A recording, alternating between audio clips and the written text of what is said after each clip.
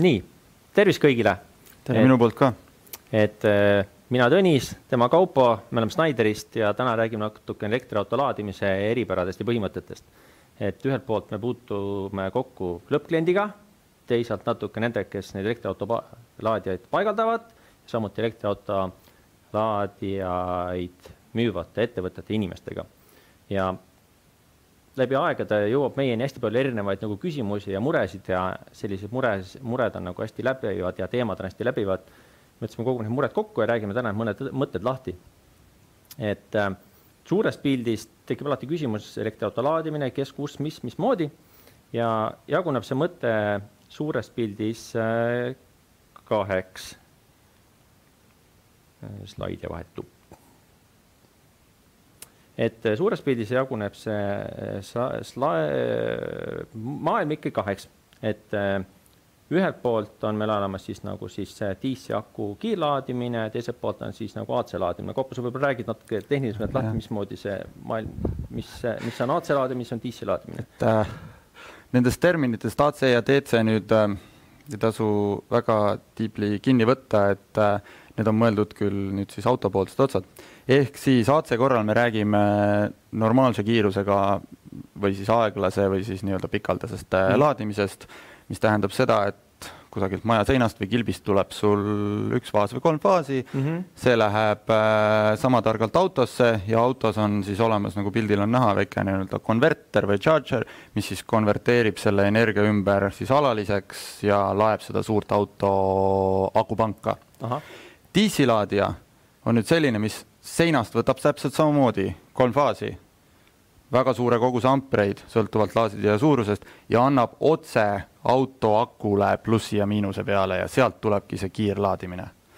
ja kui ka pilti vaadata, siis vasakul all näeme seda CCS2 otsa ehk siis selline kõrgem ja laiem ja kaks alumist suurt äh, punni ongi need äh, DC otsad ja paremal pool näeme siis seda väiksemat AC otsa ehk siis T2 otsa mis on ka vasakul olemas, aga milles siis äh, vasakpoolsel kasutatakse ainult maandusi ja muud poolt mm. -hmm. kui nüüd meil on sada protsenti elektriauto, siis meil on see vasakpoolne ots autol mm -hmm. kahe luugiga. kui meil on hübriidauto, siis meil on ainult see parempoolne ots. okei okay,, okei okay. siis äh, meil tuleb väga palju põnevaid teemasid täna arutu-, arutusele et kui äh, kuulajaskonnal tekib äh, küsimusi, siis äh, küsimusi saab esitada meil chati. võtame need küsimused seminari lõpus kõik ette ja käime üksipulgi läbi. ja selleks, et oleks motivatsiooni kuulata, siis kes soovib osaleda seminari lõpus elektriauto Schneider Charge laadimises, siis kirjutada chati lihtsalt märksõna Schneider ja kõik, kes chati kirjutavad märksõna Schneider ja nende vahel loosime seminari lõpus välja siis äh, Schneider elektriauto Charge kahekümne kahe kilovatise laadija. et veel asi põnevam oleks, äh, siis on tegemist äh, laadijaga, mis ühildub erinevasse majapidamisvõrku, ehk see tähendab seda, et ta võib töötada ühe faasi pealt väiksema võimsusega seitse pool kilovatti ja ta võib töötada siis kolme faasi pealt kuni kakskümmend kaks kilovatti. kui sul on saab ka võimu vähem, siis ka. saame, saab ka üheteist peale lülitada või, või viieteist peale, vahet pole mm. -hmm aga suures pildis ma saan aru, et nagu elektriauto laadijad jagunevad äh, nagu noh, on siis nagu põhi, tööpõhimõttelt, et on DC laadijad, on, on AC laadijad, aga need, need äh, laadijad siis nagu selles mõttes ka jagunevad nagu erinevalt, et, et kui sa auto ostad, siis sul tuleb kaasa niisugune, ütleme, kotitäis niisugune hädaabi või niisugune reisilaadija. ehk see on niisugune, et osta auto, sõidad kuskile maale, seal maal muidugi sul laadijat ei ole, aga siis on auto pagasnikus niisugune hädaabi või reisilaadija, et saad seda pista siin erineva, erinevates ühel. sa, Tõnis, nimetasid väga häid äh, nimetusi selle koha peal, et äh, viisakas olles kõigi nendega kaasantute suhtes, me ütleme siis, see on see reisilaadija,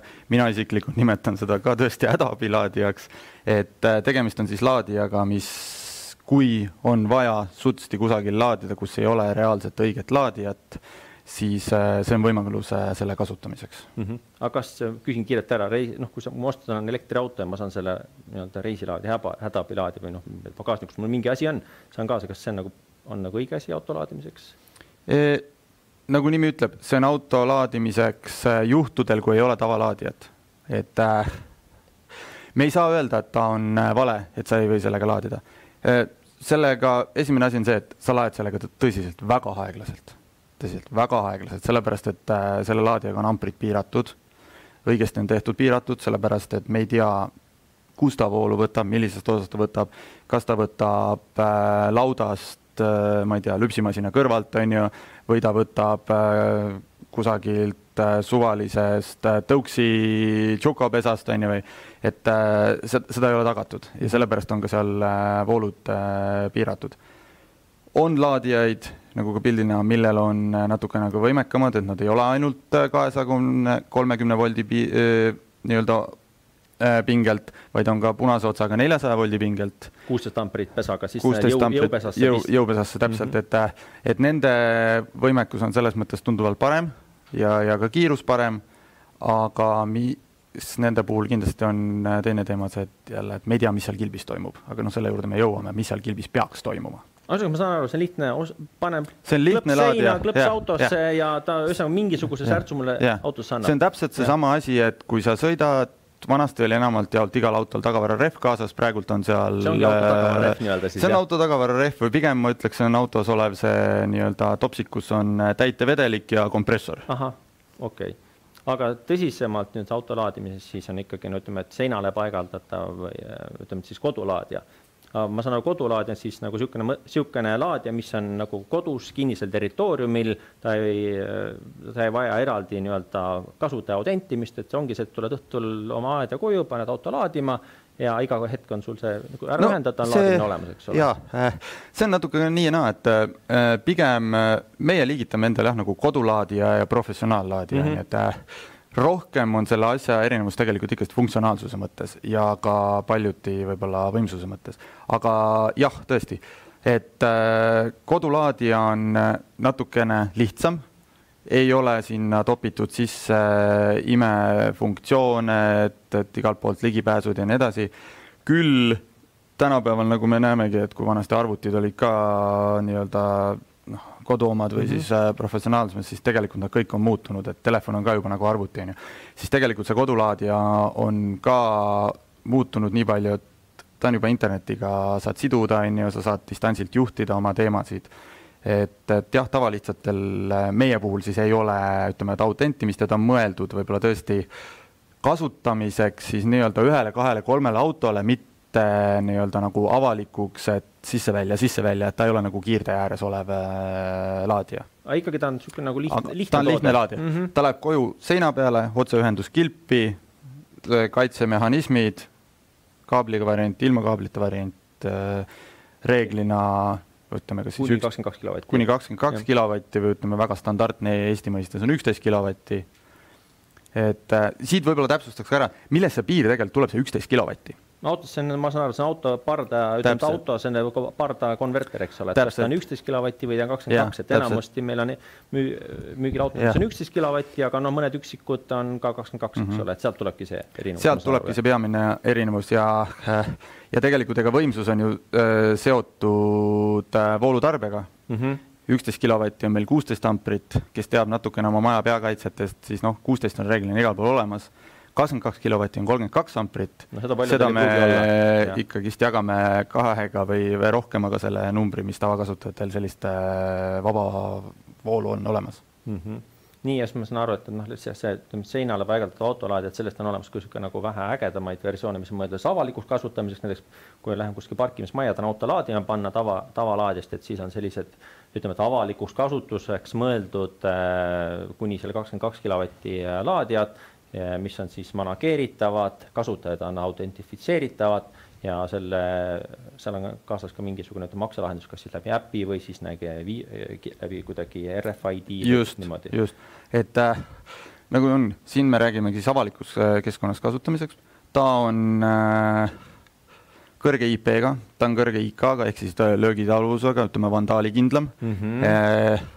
tema ülesehitus on mõeldud selliseks just nii-öelda nagu koplitrammiks, et sisse-välja, sisse-välja, pistik sisse-välja on ju, et Mhm, noh äh, tugevamaks kasutamiseks, siis äh, tal on äh, variante erinevaid autentifitseerimiseks, on ju, on see siis üle online'i, on see RFID kaardiga, on ju, sa võid teda laadida siis sellest seda T2 otsa, seal on nagu näed, pildi peal on näha ka väike ots, eks kahesaja kolmekümnene, ma võin sealt oma rollerit, ma võin seal tolmuimejat võtta võtta auto koristamiseks, on ju, et, et näiteks ta on avalikus äh, ruumis või ma ei tea, kortermaja mm -hmm. all, et, et igaüks ei saa minna, laps ei saa seda luukli lahti teha ja sõrmi sinna pista sisse, sellepärast et sealt ei tule särtsu välja, kui ei ole autentifist tehtud. aga kui sa teed autentifitseerimise, siis sa võid näiteks enda autot koristada, on ju, või mm -hmm. tõesti laadida tõuksi, on ju, või ka noh, jah, mm, selles mõttes äh, kas või panna oma selle nii-öelda reisilaadija sinna järgi, aga noh, kuna ta on T2 otsaga, et äh, siis ei ole selleks vajadust. Äh, mis variandid on kindlasti veel? tal on äh, rohkem väljavõtte punkte, ütleme, teda on erinevate kaablipikkustega olemas, on ju, ta on ühe pistikuga, teise pistikuga. aga nende laadijate puhul ikkagist me kõikidel juhtudel räägime T2 pistikust.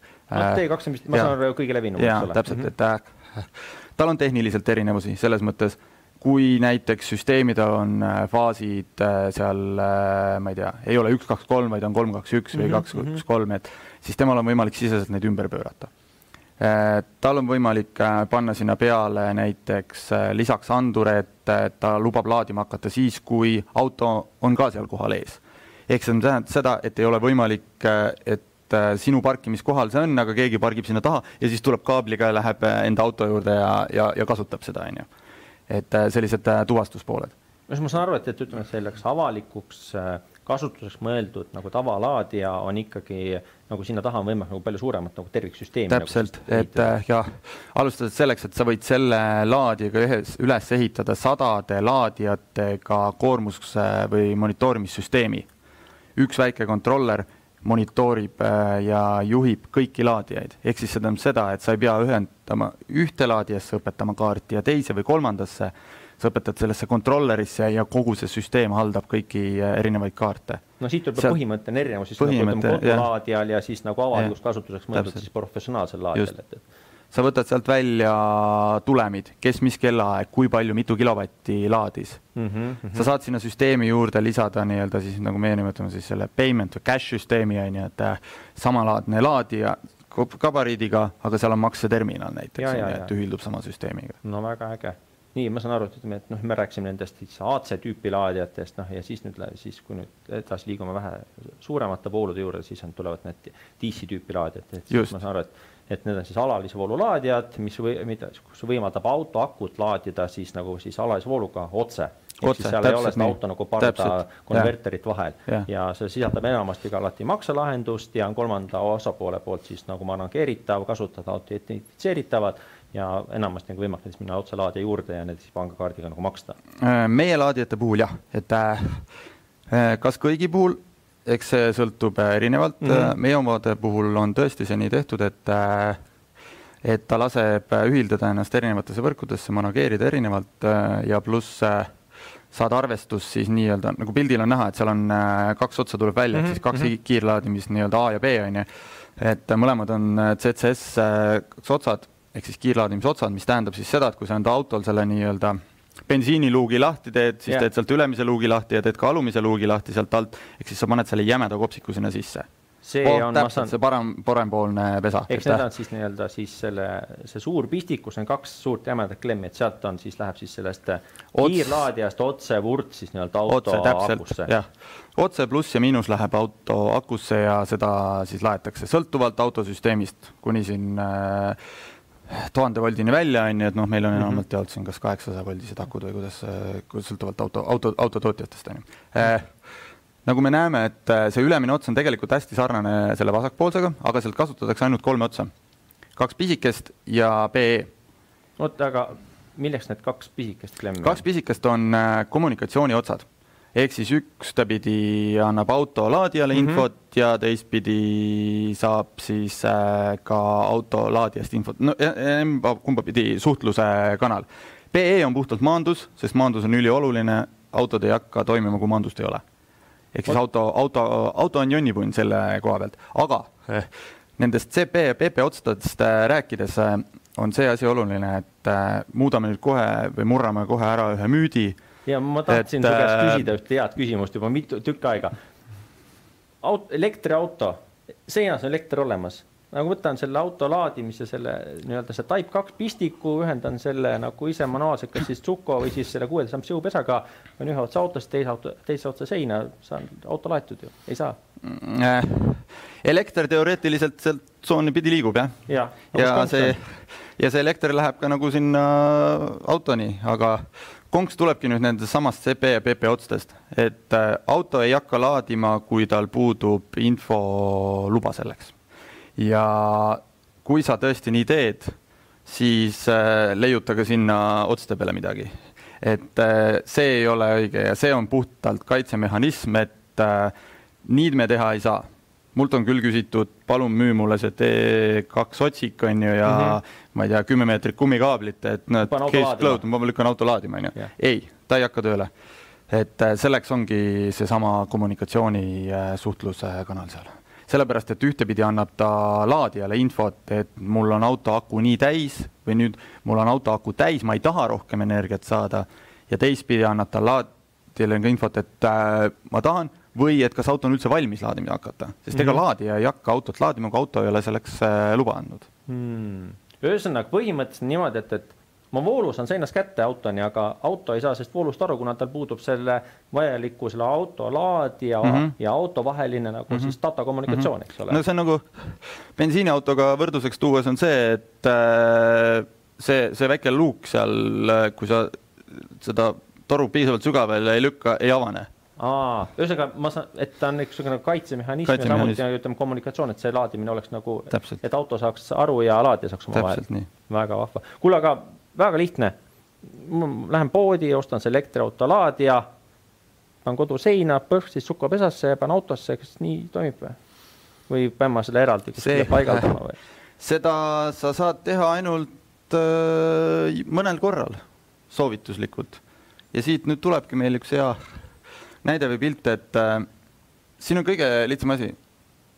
see Tšuko pesa ei ole mõeldud äh, kuueteist äh, ampriks õnneks, jumal tänatud, praegult uued laadijad, mis tulevad autodega kaasa, on piiratud ära sinna kümne peale või veel vähema peale. no mõtled siis nüüd see reisi või see, hädaabilaadija? jah, see reisilaadija, et et tegelikult on teema selleks, et ükski tavaline Juko pesa ei ole mõeldud konstantseks laadimiseks, kuna sealt auto nõuab tegelikult, see on koormus, jooksev sirge koormus tugeva vooluga. ühesõnaga, et ma saan aru, et see tsukopesa on nagu kuul kuusteist amperit nagu paberite peal ette nähtud, aga ta pigem on nagu mõeldud see, et, et see, ütleme, et see kuusteist amperit on, ütleme, et nagu varieerub ja muutub, eks ole. et see maksimaalne piik, eks ole aga noh, ja siis ongi tulemuseks see, et, et mul on sulanud pistikupesa või siis äh, sulanud äh, laadiots, eks ole. noh, tegelikult ma saan aru, et, et erinevatel elektrimaterjali tootjatel on olemas ka spetsiaalsed äh, nagu äh, pesad siis nagu sellise häda või kiirabi, kiirlaadija ütleme, siis reisilaadija või noh, kuidas ta keegi nimetab selle tarbeks, et, et aga siis peab kindlasti alati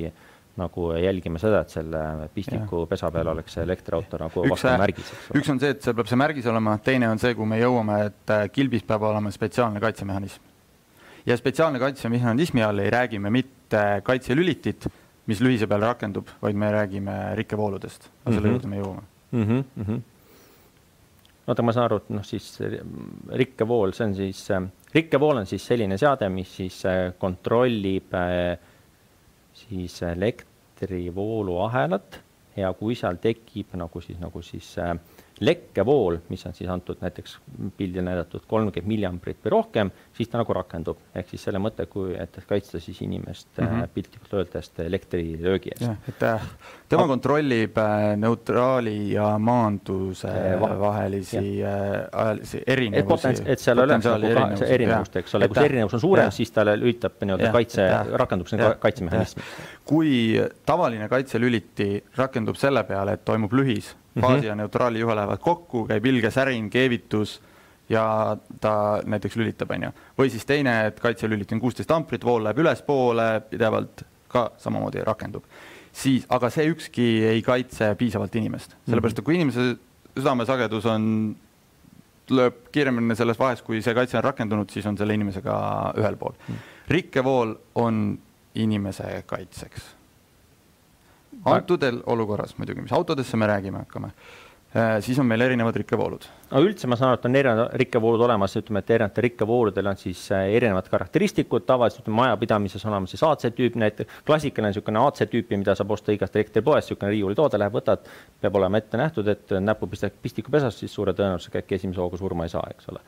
et siis äh, aga seal on ka erinevad nagu tüübid ja seal on, ütleme, see klassikaline AC tüüp on siis, et see suudab tuvastada ja reageerida ainult siis Äh, vahelduv voolu sinusoid äh, nagu voolule. ehk siis ka, lihtsalt, kui tavaline pistikupesast tulev nii-öelda siinus kuskile lekib, näiteks kolmkümmend mm -hmm. milliamprit mm, -hmm. siis ta rakendub, eks mm -hmm. ole. no kodus kasvõi pesumasinal hakkab vanaks jääma, siseselt on äh, kusagil trummilist lekib vett mingitesse mootoriahelatesse siis see rikkevool äh, rakendub samamoodi. Aga millist rikkevoolu tuleb äh, elektriautolaadijate puhul kasutada, ma olen aru saanud, et seal on kahte tüüpi, et on A-tüüpi, äh, A-tüüpi on siis sellised lihtsamad, eks kodulaadijad ja, ja B-tüüpi spetsiaalsed on siis nagu profilaadijad ja sellised tõsisemad nagu süsteemid.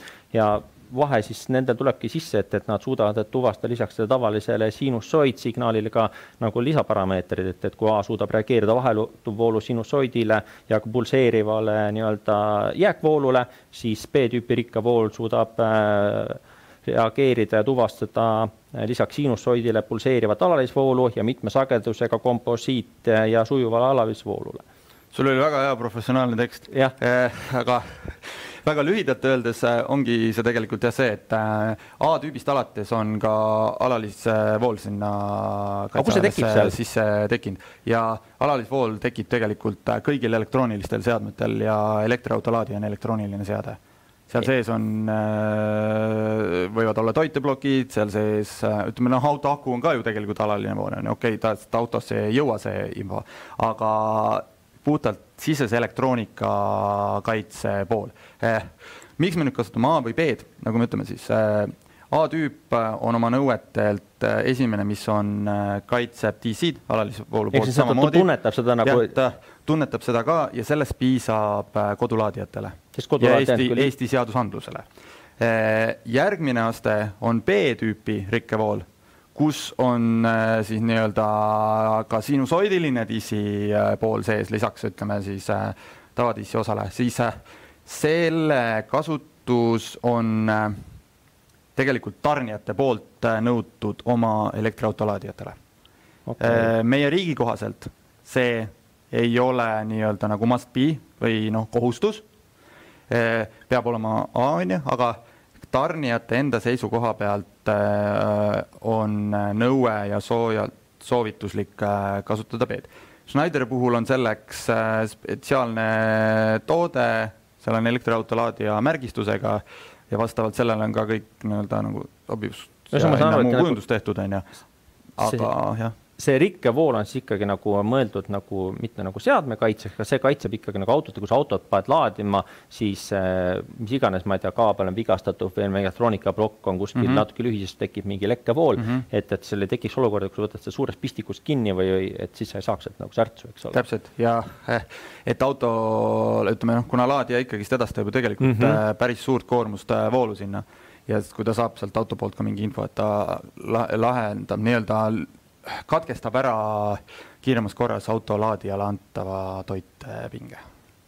aga kust tuleb või mille järgi nagu, esiteks ma saan aru, et siis nagu see rikkevool on ikkagi nagu äh, kohustuslik ja hädavajalik, et ilma selleta nagu elektriauto laadijat ei, nagu ei tohiks nagu koju omale see on kohustuslik äh, üle minu laiba.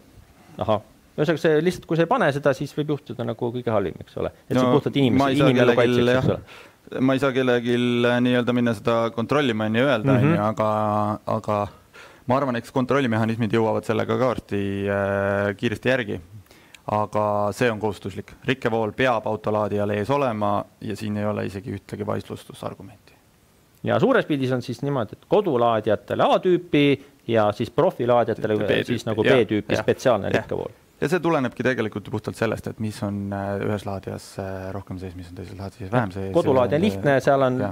oluliselt vähem elektroonikakomponente, ta ei ole nii-öelda eemalt võib-olla nii palju manageeritav ja ei ühildu suure süsteemiga ja Pro-laadija, mis on mõeldud siis nagu oluliselt keerukamate süsteemide funktsionaalsuse jaoks, et seal on rohkem komponente, ehk siis on vaja, äh, seal on mm -hmm. rohkem võimalusi nagu erinevate voolude uitama minekuks ja, ja siis ja. selleks, et seda neid äh, lekkeid tuvastada, selleks on vaja oluliselt nagu tehnilisemat ja tundlikumat seadet. mida me ennem unustasin tegelikult äh, profilaadijate puhul ka mainimata, on see, et äh, profilaadijatel on veel lisaks siis nagu me nimetasime siin pistiku ja kaabli eri variantidel on ka sisest kombo erinevat varianti, et väga paljudel laadija variantidel võivad B-rikkevoolud juba sees olla et seal on Aga see, see... vool sees või näiteks arvesti sees, et seal on sellised kombod, et seda peab teadma, et teinekord jah okei okay,, ühesõnaga see teeb ka siis see, et, et see profilaadija juba nagu tehasest nagu juba Tehasest rohkem selle peale mõeldud äh,. perikevooluga ehk siis nii-öelda kindlalt kinnitamaks, et sa mm -hmm, ei mm -hmm. saa seda ignoreerida mm. -hmm. kuule, Kaupo, aga mina kui lihtne inimene lähen nagu tahan oma elektriauto laadijat äh, nagu koju paigaldada, kas ma võin seda ise teha? Ja mida mul on üldse vaja selleks, et elektriauto laadijat nagu koju paigaldada, ma saan aru, et ma pean sealt peakilbist tooma kaabli, siis mul tekib küsimus, milline see kaabel on. ma, ma saan aru, et, et siis noh, kui me tuleme nüüd matemaatika juurde, et üksteist kilovatti laadija tahab saada jämedalt siis äh, C kuusteist, ütleme vähemalt kuueteist amprist kaitset, eks ole, noh, see tuleb siis jämedalt äh, ja kolm faasi, ehk siis see on siis viiesoonene kaabel, ehk siis äh, esimene, teine, kolmas faas, äh, siis rahvakeeles siis BE ja neutraal, eks ole, ehk siis kollaroheline ja, ja, ja sinine, sinine., just. ja kuusteist amprit on kaks pool ruutu. kaks pool ruutu miinimum mm. -hmm. ehk siis rahvakeeli 5G kaks pool täpselt nii. jah, nii, aga mis mul, mis mul veel vaja on, sinna, ma saan aru, me rääkisime rikkevoolust, eks ole, eh, siis kindlasti kilpi on mul kaitset vaja. nii, aga võin ma selle ise tõmban sealt kuskilt niimoodi, teen niks-naks, eks ole. See on, ütleme, soo-, soovitus on alati see, et äh, seda võiks teha pädev elektripädevusega inimene või vähemalt siis selles mõttes äh, keegi, kellel on sellealane kogemus mm. -hmm. kui sa ise elektriga kokku puutunud ei ole ja su kogu elektriühendus seisneb, noh, oletame, ma ei tea, valgusti vahetamisega, siis ma ei soovitaks seda, sellepärast et äh, me räägime ikkagist kolmest faasist ja kolm faasi ühendused ei alasta kunagi. jah, et kui sa paned seal kaablit valesti, siis äh, valesti paned või äh, särts-särtsu saad, onju. aga mis sul on vaja? sul on kilbis vaja teatud arv ruumi mis siis tähendab seda, et igal laadijal peab ees olema kolmefaasiline kaitse mm, -hmm. kolm moodulit. siis peab olema sellel laadijal järgi äh, neljapooluseline rikkevool ehk siis noh, neutraal pluss kolm faasi, neli moodulit. Ehk siis ja rikkevool kindlasti peab alati olema, et siis kodulaadijate puhul siis ja. rõhutame A-tüüpi ja, ja, ja siis profilaadijate puhul siis spetsiaalne B-tüüpi. ja, ja see rikkevool on ainult sellele laadijale mõeldud. et, et ma ei või äh, kuskilt mujalt ahelast võtta võta seda rikkevoolu oma samast ahelast, kus sa pesumasina või pliidi võtad või mis iganes mm -hmm. muud pistikupesad. autolaadijale on omaette kaitse, omaette rikkevool, ehk siis sellega peab arvestama. Siis sealt kilbist tuled sa edasi oma laadijani, miinimum siis äh, üheteist kilovati puhul kaks äh, pool ruutu kaabliga. 5G kaks pool, siis nii-öelda rahvakeeli. ja kui me räägime kahekümne kahe kilovatisest äh, laadijast, mis on siis kolmkümmend kaks amprit, siis sealt peaks tulema arvutuslik neljaruudune kaabel. ehk siis 5G neli. 5G neli aga ma tahan kindlasti ka siinkohal ära rõhutada, et kuna iga paigaldus on unikaalne, siis äh, kaabli ristlõike ikkagi sõltub nagu kaabli pikkusest ja kui see distants läheb väga suureks, siis võib juhtuda, et sellest äh, isegi äh, üheteist kilovatise laadija puhul 5G kahe poolest võib jääda väheks. et kui sul on maja ühes hoovinurgas ja näiteks garaaž, kus elektriautot laed teises hoovinurgas, et siis ikkagi peaks nagu elektripädevusega inimene välja arvutama, et mis on see kaabli pikkus, mis on see kaabli paigaldusviis ja vastavalt sellele siis tuletama või arvutama või valima siis õige nagu kaabli, et et kaablid on ka samuti isolatsiooni mõttes erinevad, et, et maakaabel ja nii-öelda siis hoone sisseseks paigalduseks mõeldud kaabel ja kaabel, mida võid päikse kätte panna ja kaabel, mida ei tohi päikse kätte panna. paigaldad ta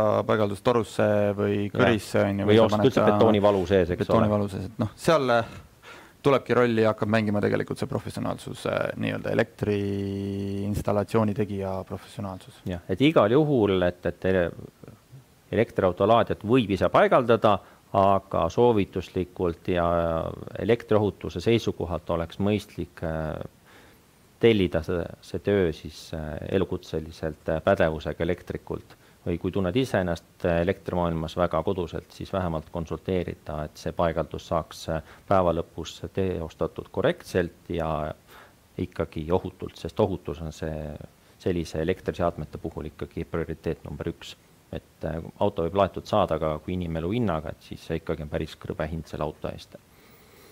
nii, oota, aga mm, rääkisime siin laadijatest, kaabelitest, asjadest, äh, aga mina kui lihtne inimene, mul ei ole kodus näiteks, ma tahan nüüd osta, ostan auto, kakskümmend kaks kilovatti on parda, siis ütleme see parda, siis see voolukonverter nii-öelda või pardalaadija, kuidas kutsutakse kahekümne kahe kilovatine tahab saada jämedalt kolmkümmend kaks amprit voolu, sest elektriauto laadimine on ju ikkagi konstantne.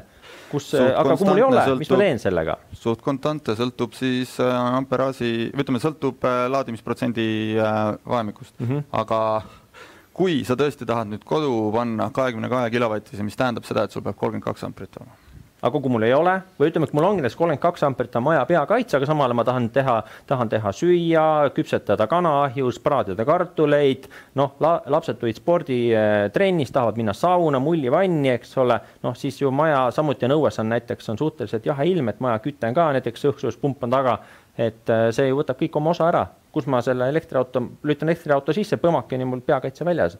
ma saan aru, et selleks on mingid lahendused olemas. et äh, kui sa midagi ei tee, lihtsalt teed selle ühenduse nagu oli, siis mm, -hmm. siis ta nii on. Selleks tulevad nüüd mängu sellised terminid nagu LMS ja DLM on ju, et ehk siis dünaamiline koormuskontroll, et siit slaididelt on tegelikult päris hästi näha, noh, võtame sellesama kasvõi selle seitseteist kilovatti on ju, et kui nüüd tuleb järgi erinev kogus laadimisi, siis kui seal koormuskontrolli vahel ei ole, siis see koormus lihtsalt kasvab.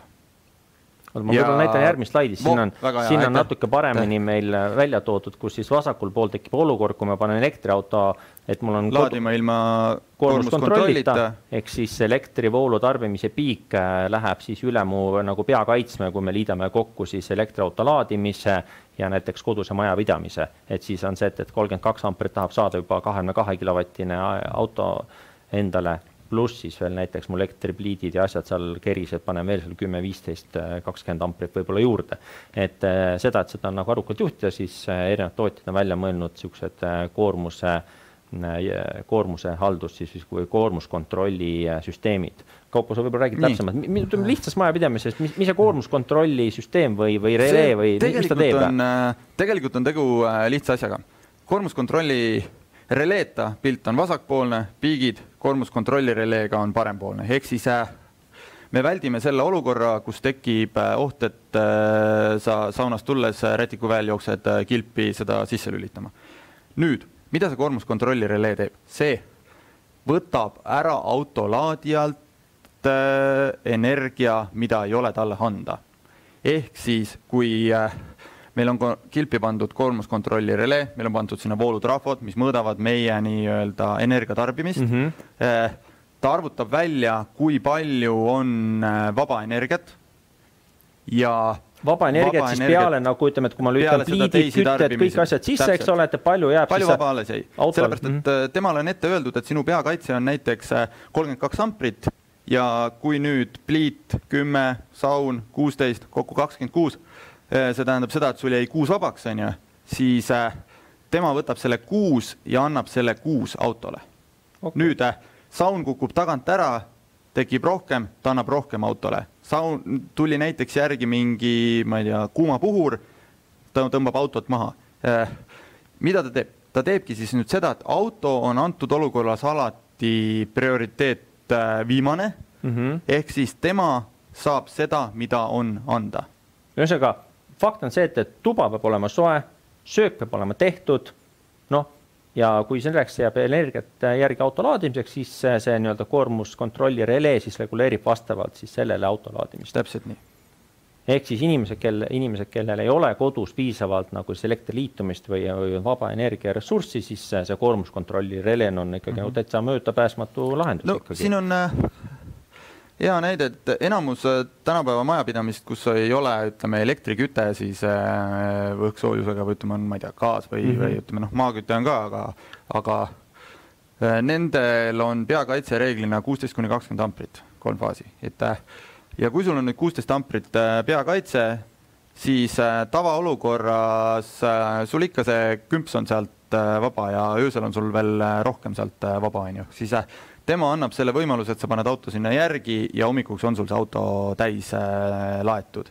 ja, ja sul ei ole vahepeal juhtunud olukordi, et äh,, et sa ei saa sauna minna või et äh, keegi ei ole saanud süüa teha või ei tule boilerist, ma ei tea, sooja vett või mida iganes varianti, siis tema välistab selle olukorra ja see annab võimaluse selleks, et sa ei pea minema suht kuluka raha eest elektriettevõttest ostma ampereid juurde ainult sellepärast, et autot laadida saaksid. tundub väga põnev, sama asja saaks kasutada ju siis, kui peres on kaks elektriautot ja mul ongi, oletame, et on tegelikult elektriliitumist on täitsa piisavalt, näiteks eramajades vanasti pandi kolm korda kolmkümmend kaks amprit, aga panegi kaks üheteist kilovatist laadija ehk siis kaks korda kolmkümmend, kaks laadijat tahaks siis juba saada ise kolmkümmend kaks amprit. et siis kahe, isegi kahe elektriauto laadimisel öösel oleks siis juba vaja koormuskontrolli relé juhtimist, ole. täpselt nii vahva süsteem, aga kas see on niisugune, kuidas ta üldse nagu laadijaga suhtleb või, või kuidas see süsteem on, nagu juhib äh, seda siin laadijat? nüüd äh, kahtepidi, et äh, see pilt, mida me siin äh, näeme, on mõeldud äh, siis äh, kodulaadimissüsteemidele ehk siis äh, lihtne nii-öelda nagu LMS. laadijaga äh, süsteem, jah? jah, et äh, kus toimubki siis see, et vaadatakse, palju on vaba ja antakse ilma igasuguste mm. -hmm. lisaprioriteetsusteta. kui me räägime professionaalisüsteemist, kus me paneme üks laadija, kaks laadijat, kolm, neli, viis on ju, siis äh, siis selles süsteemis äh, DLM-i kontroller kontrollib ka seda, kui palju mingi laadija laadinud on, kui täis ta aku on, et ta laseb näiteks temal nüüd veel lõpuni laadida, on ju, ja siis võtab temalt koormust maha, ehk siis ta hakkab mängima erinevate õigustega, kellel on äh, kõrgema prioriteediga kaart, kellel madalama prioriteediga nii-öelda autentimiskaart ja ta hakkab andma erinevate laadijate vahel erinevaid koormusi. no see on juba niisugune tervik, tervikum süsteem, mis on mõeldud siis professionaal. pigem selliste nagu, professionaalsemate jah, lahenduste jaoks. nagu siin on näidatud, et kui sul on mitmed laadijad, ütleme, et oletame hetkel on sul kümme laadijat mm, -hmm. praegult laeb kaks tükki, küll aga küll, kõik saavad sada prossa, viiega võib-olla ka veel saavad, kuuendaga no. peaks kellelgi maha võtma, võib-olla võtab võrdselt kõigilt maha. aga võib-olla prioriteetsemalt siis võib-olla prioriteetsemalt mm, -hmm. kui tuleb kümme tükki, hakata näiteks arvestama sellega, et näiteks see aku saab, auto saab kohe täis ja see tähendab seda, see laadija vabastaneb, on ju. ma temale annan veel, aga teistelt hoian natukene maha, tema läheb tagantjärgi ära, tulevad teised juurde mm -hmm.. ehk siis siin hakkab mängimine juba nii-öelda nagu äh, ajutööga. väga vahva e tänapäeva moodsates majades on väga paljudel olemas päiksepaneelid katusel, sealt ma saan ju, mul ongi näiteks kolm korda kuusteist amperit, mul on üheteist kilovatine ehk siis kuusteist amprit tarbiv elektriauto laadija, aga mul on ka näiteks kümme kilovatti päikseparki katusel, et ma saan ju päevas sealt ju täitsa marginaalse osa ju elektrist juurde. see on. kuidas siis see koormus? see on sul hea märkus, siin on üks joonistatud skeem ja ja see on asi, mida tuleks tegelikult jälgida, sellepärast et erinevatel laadijatel, erinevatel koormusreleedel on erinev töömetoodika.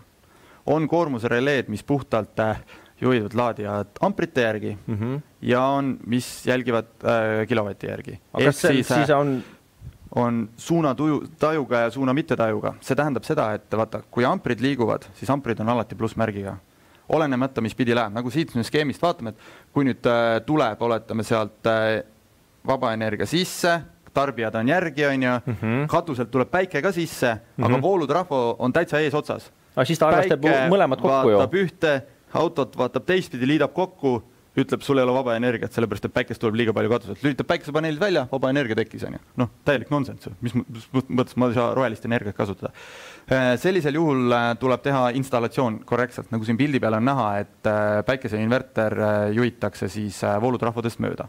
või on targem siis nii-öelda koormusrelee, noh nagu meie sellel charge'il on, mis ka välja loosime, siis sellel releel on suunatundlikkus mm -hmm. ehk siis ta saab aru, kumba pidi äh, kilovatid äh, liiguvad mm. -hmm. ehk siis ta pluss-miinustab need maha ja vahet pole, kuidas need päikesepaneelid on pandud.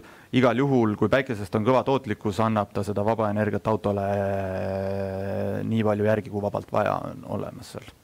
ühesõnaga, ma saan aru, et, et süsteem võib paigaldada ise, süsteemid tegelikult lähevad üsna keerukaks ja päeva lõpuks ikkagi oleks arukas pidada nõu või vähemalt tellida see töö inimestelt, kes sellega igapäevaselt tegelevad. sest muidu vastasel korral võib juhtuda midagi nagu siit, et siin on üks niisugune ehe klassikaline näide, kus inimene ostab oma elektriauto ja pannud ta, pannud ta nagu õhtuks kuskil kortermaja kõrval nagu laadima, et et, et mis siin nagu mina vaatan tavainimesena, et, et ostan elektriauto, tõmban pistik, pikenduse õue, et siis no kas see on nagu okei okay või no. või see või, või, või mis siin pildil nagu valesti on, et eks ta, eks ta selle särtsu sinna autosse saab kuidagi, onju, aga küsimus on nüüd selles, et äh, ta saab täna, ta saab homme, ta saab võib-olla ülehomme, onju, aga äh, siit pildilt nüüd vaadates tundub see kaabel sealt kusagilt, ma ei tea, fassaadi alt tulevat vist või, et äh, kui see, kui see nüüd tõesti nii on, äh, siis sorry, aga me ei tea seda, kui soojaks see läheb.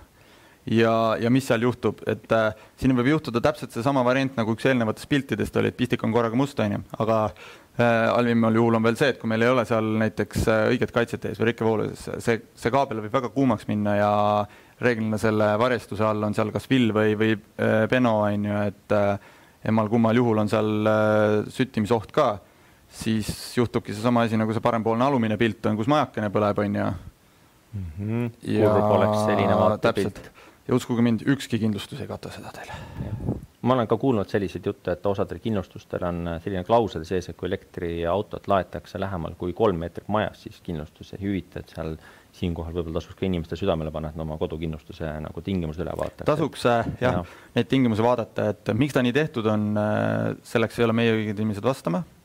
aga küll. kui on installatsioon korrektne tehtud, rikkevoolud paigaldatud, äh, õige ristlõikega kaablid, äh, siis tegelikult seda ohtu ei tasu karta aga, aga see eeldab ikkagi seda, et see installatsioon on tehtud korrektselt, et kui sa nagu, kui ma ja. ise midagi installeerin, pusin samamoodi nagu ütleme, vasakpoolsemal pildil võib-olla on näidatud, et toon tavalise Prisma peremarketist ostetud pikenduskaabliga, keeran vahele sinna kõige odavama pistikupesa ja panen sinna seitsme poole kilovatiga või isegi üheteist kilovatiga auto laadima, siis pisike pikendusjuhe sulab selle lihtsalt kokku ja tulemuseks võibki niisugune parempoolne nagu mm. situatsioon olla, et, et, et sellepärast tuleb inimestele ikkagi panna südamele, et, et elekter ei ole mänguasi ja, ja elektriinstallatsioon tuleks teostada ikkagi vastava pädevusega inimeste poolt, et et selliseid pilte ja näiteid surfasin Facebookis ringi teatud autogruppides, kuna ise ka autofänn natukene ja siis selliseid pilte avanes nagu päris palju, kus inimesed diskuteerisid, et kuidas siis et ma ostsin elektriauto ja kuidas seda siis laadima panna, et pahatihti on nagu see, et kui elektriauto Äh, nagu äh, automüüjad nagu müüvad, siis see, see teadmatus on nagu üsna nagu suur, et, et, et auto on siin, aga kuidas seda laadima, laadida saab või, või kuidas teda kasutada saab, et see pahatihti jäetakse nagu kliendi mureks. eks see ole ka meie tegelikult tänase niisuguse jututeema eesmärgiks, et et inimeste teadmist lihtsalt tõsta, et me ei taha kedagi manitseda, et nii on õige või vale, aga just see, et inimesed oleksid teadlikumad, nad oskaksid midagi küsida ja samamoodi müüjad oskaksid ka pakkuda variandid välja, et noh, nii oleks õigem teha mm. -hmm. et äh, ma ka, Kaupo, mis on sellised küsimused, mida siis nagu siis ütleme, kui äh, näiteks automüüja müüb autot, elektriautot, mida, mida peaks nagu inimese käest küsima, et, et et mitte ei ole see, et, et autovõtmed on siin ja sul on äh, pagasnikus hädaabilaadija, et, et võid minna nagu toimetama see on hea lihtne spikker, mis siin on äh, ekraani peale pandud. Äh, tegelikult äh, need küsimused on kõigile, on see keegi, kes müüb laadijaid edasimüüja, on see automüüja või isegi meie mm, -hmm. selles mõttes, et äh, alati, kui inimene ütleb, et nii, ma nüüd ostsin endale auto, ma tahaks panna laadija koju. kõige lihtsam küsimus, mis majapidamisega tegemist on? see esimene küsimus tuleneb sellest, et mis laadi laadijat talle pakkuda, et Äh, me räägime siis äh, kas siis kodulaadija lihtsam või siis professionaalsem laadija, on ju, et noh, dissilaadijatest kodumajapidamisse me ei räägi. on tal eramaja, on ta ridaelam, on ta kortermaja, on ta suvila, et äh, eramaja, suvila registreeruvad sellise kodulaadija alla, ridaelamu üldjuhul ka tõesti, kui sa just kui su see parkla ei ole kusagil väga kaugel ja parkimiskohad pole jagatud, on ju siis äh, kortermaja puhul kindlasti tasuks rääkida ikkagist juba professionaalsematest äh, laadijatest, äh, kui ei ole võib-olla piiratud aiaga ja konkreetsete asumiskohtade järgi on ju, parklakohtade järgi. sealt tulebki see nagu erinevus sisse, et kas see laadija on nagu ainult mõeldud sinule, et sa tuled, paned klõps laadima, kõik kohe toimib või on sul vaja ikkagi seda kasutada nagu autentida. ehk siis korteris, kus näiteks viiskümmend kaheksa korterit, aga tegemist ainult kahe laadijaga, siis, siis on näiteks ongi sul programmeeritud RFID kaart või siis mobiiltelefon, millega sa saad, lähed, paned laadima enda kaardiga viipad, hakkab sinu auto laadima, pärast jookseb see mm. elektrikulu sul näiteks äh, korteri, sinu korteri kommunaalarvetele otsa, eks ole, et sealt, sealt tulebki see põhimõte erinev. või kortermajades on üldelekter, et jookseb ta sinna nii-öelda kuu lõpus tuleb, võtab majahaldur selle välja, vaatab see kaart, see kaart ja jagab selle arve mm -hmm. üldelektri pooleks. aga suvilas näiteks on, ütleme, mul ühefaasiline liitumine, mis ma sellega peale hakkan? Ta on suvilas ka laadida, elamissuvilas näiteks on suvila ümber ehitatud äh, elamuseks. kui sul on ühefaasiline laad, äh, liitumine, siis meie enamuste laadijate puhul on ühefaasiline võimalik, see on seitse pool kilovatti. see on siis võimalik ka... laad ise alla keerata, jah? Äh, ja seda on võimalik ka ise alla keerata, sealt madalamaks ütleme, et noh, seitse pool nüüd omamoodi tuleb sealt ühe faasi peal mingi mm -hmm. ma ei tea, kuusteist, kakskümmend amprit on ju, et äh, sellega pead kindlasti mängima ja seal on samamoodi võimalik koormuse kontrolli teha. ja et, et siin ongi see, et kui elektrit ei ole, et see koormuskontrolli mm -hmm. relee tuleb mm -hmm. ikkagi nagu alati mm -hmm. nagu juurde Aga arvestada. siin tegelikult, miks see küsimus on vajalik, et, et mitmefaasiline liitumine on, see ongi puhtalt, et valida nüüd õige laadija, kas me paneme, valime sinna siis selle ühefaasilise laadija või kolmefaasilise laadija, et see laadija, millest me siin täna reklaamime, mis me välja loosime, on tõesti universaalne haal, et, et sa saad teda nii ühefaasilise kui kolmefaasilisena kasutada. jah, seitse pool, üksteist ja kakskümmend kaks. reeglina enamus laadijaid on ikkagist kas üks või kolm, on ju, et ja siis seal-siseselt vastavalt häälestus. nüüd järgmine küsimus, palju on peakaitsme väärtus amprites? on äh, just oluline sellepärast, et vältida olukorda, kus kaitse hakkaks äh, rakenduma kui siis tuleb see koormuskontrolli relee jälle teemaks. jah, et kui kaitse on kakskümmend või vähem, kindlasti koormuskontrolli relee, ei ole muud teemat mõtet. kui kaitse on suurem kui äh, kakskümmend äh,, siis äh, tasuks lihtsalt üle küsida, et millised on äh, kasutuse elektri tarbimise kasutusviisid, ehk siis kas mul on näiteks seal õhksoojuspump on ju, või veel, või maaküte on ju, et mis näiteks ise tarbivad hästi palju energiat ja, ja reaalselt seda vaba ei ole nii palju. järgmine küsimus, kui võimas on auto pardalaadija? korra puudutasime, ehk siis üksteist või kakskümmend kaks, et kui see auto pardalaadija on ikkagist äh, üksteist kilovatti, sul ei ole mõtet seda kahekümne kahest sinna panna. me toonitame, et siin see pardalaadija ei ole see, mis sul pagasnikus nagu kotti kaasas on, vaid see, mis autosse installeeritud, ehk see, AC DC konverter ehk siis mis ja. autolaadijast äh, konverteerib selle voolu otse akusse õige, siis äh, kas laadijat on vaja kolmanda osapoolte eest kaitsta? siin tulebki mängu see, et äh, kus ta elab, kas, kus ta elab ja, ja kas me tahame, et äh, laadija hakkab tööle kohe, nii kui juhtme järgi saab, või ta vajab eraldi autentifitseerimist, on see siis läbi äpi või, või läbi kaardi, on ju, või, või samamoodi ka vanematel laadijatel oli füüsiline võti mm. -hmm ja siis on see ka veel, et, et kas seda laadijal on ka mingit tarkust vaja, et kas ta lihtne rumal laadija paneb pistiku autosse ja hakkab laadima või siis näiteks saab mobiiltelefonist seda juhtida mm, -hmm. et, et, et äh, sa näiteks ütleme, kui on mingi baaris maja boks on teinekord näiteks äh, lubada naabrit laadima või kui sõber tuleb külla, saan telefonis panna sõbra auto laadima või kui vaatan, et täna börsihind on nagu jube kole, et saan näiteks laadimise kinni panna või siis näiteks mm -hmm. ühendan auto taha, vaatan öösel kell kolm on näiteks jube hea elekter või mis iganes, et, et siis seal, kui, või kui mingit tarkust sinna taha, et mis seda laadimist laadimist juhib, et siis ikkagi Täpselt peaks nii. kaaluma sellist, ütleme, et e, manageeritavat laadijat. et kõik äh, reeglina juba praegusemad laadijad võimaldavad äh, siis äh, OCCP ehk siis nii-öelda back-end'iga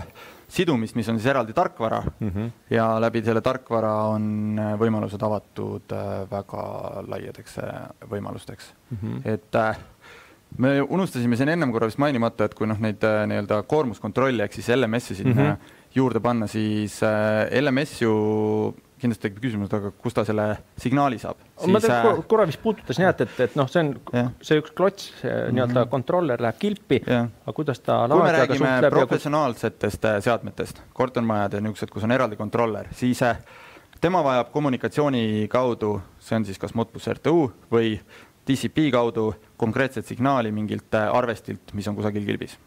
nüüd kui me räägime sellest äh, kodulahendustest, kus on see lihtne relee on ju ja vooltrahvad, eks ole, mis mõõdavad, mis on kaasas, paneb peale, siis äh, tema ei vaja mitte midagi.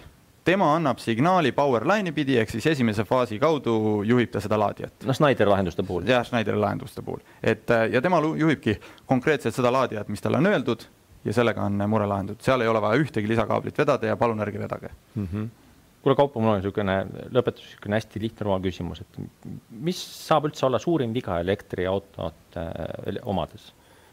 Või? laadima jätmine, laadmine, laadima jätmatus või jätmatamine. unustan laadima, panemata. Okay.. hommikuks on tühi ja siis võtan takso ja okei. Okay.. ega tegelikult ju sama, sama on teema, et meilt küsitakse hästi palju, et ka seda, et aga ma tahan alati laadida kõige odavama ja elektriga, onju. Mhm. sa võid ju seda teha, aga kui sul hommikuks on auto tühi, sellepärast et äh, elekter oli liiga kallis, siis ma arvan, see taksoarve on kallim, millega sa tööle sõidad. see võib paraku nii olla, jah. nii, aga meil hakkab aeg vaikselt ühele poole saama, et me täname oma kuulajaid äh, kuulamast ja kindlasti, kas meil on chati mõningaid küsimusi Kaupo no, vaatab korra, tal on, meil on niisugune nutiajastu. meil on et... siin üks äh, tore abiline siin kaameratade taga, kes äh, kõik küsimused nüüd kokku luges ja pani mulle siia hunnikus rivvi, nii, vaatame.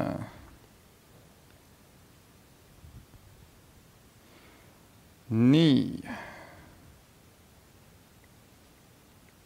küsimus selline hetkel väga vähe autosid, mis on suutlikud tarbima kakskümmend kaks kilovatti. miks mitte võtta kombi rikkevoolu kaitseautomaat, aa ah, okei okay,, see on teine küsimus, et hetkel on väga vähe autosid, mis on suutlikud tarbima kakskümmend kaks kilovatti, jaa, ma olen nõus, et äh, äh, äh sellepärast me ütlemegi ka seda, et, äh, et mõõda, vaata oma auto pardilaadijat, et, et ei pea kohe kakskümmend kaks panema, aga Äh, keski ei keela sul ka kahtekümmet kahte panna, sest tegelikult üheteist kilovatise, kahekümne kahe kilovatise laadija hinnaväärtusel ei ole peaaegu üldse vahet. ja oleneb nüüd tõesti laadijatest. Äh, meie laadijate puhul on kõik laadijad võimalik äh, maha piirata ja sa võid ka ta jõuga pannagi üheteist kilovati peale, sul ei ole võimalik seda koormust ka vaja sinna vahele panna, siis ta töötabki üheteist kilovati pealt, et aga tegelikkuses suund ikkagist liigub selle peale, et me liigume kahekümne kahe kilovati peale ja tänu sellele ka need äh, tooted on päeva lõpuks see hinnavahe nagu mm -hmm. nii väike, et kas sa paned seal mingi laadijale kümme, viisteist protsenti hinnal otsa ja saad kaks korda võimsama laadija, mitte tuleviku perspektiivi arvestades. mis meil siin on, miks mitte võtta kombi rikkevoolu kaitseautomaat neljapoolusega, aga miks mitte, keegi ei keela. kui on olemas kui on kombi rikkevool olemas äh, kodulahenduste puhul A variant äh, ja profi puhul B B-kombid minu teada ei eksisteeri. see peab olema neljavooluseline. see peab olema neljavooluseline, ei, ei ole keelatud, muidugi võib. kombi rikkevoolu eelis teiste rikkevoolude ees on puhtalt äh, väiksem, ruum, väiksem kilbiruum ja., jah, miks mitte. ma vaatan, rohkem vist ei olnud, Merit, kui kaks küsimust, jah. nii, aga siis äh, meil on siin äh, stuudios siin kaamerate taga Fortuna, kes äh, kohe paneb selle loosiratta käima nüüd tegeme see. meil on täis digitaalne lahendus selle kohta ja siis iga hetk peaks meil selguma siis kõigi chati Schneideri märksõna kirjutanute vahel võitja, kes võidab omale Schneider Charge kahekümne kahe kilovatise. Keiu A, nii, Keiu A, palju õnne et äh,, et oled võitnud omale Snyder Charts äh,. kas meil on vaja Keiu kohta täpsemat ühendus? infot ka Merit teada, et kuidas me saaks talle laadija üle anda või ta saab meile laadijale järgi tulla? okei okay., väga hea, aitäh. võtke Snyderiga lihtsalt otseühendust ja me toimetame laadija teeni.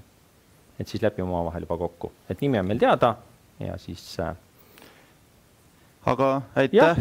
täname kuulamast igatahes. tänan küsimast äh, käitugem elektriga turvaliselt ja head Võt, laadimist. just, ja et elektriautod saaksid kõik ohutult täis laetud.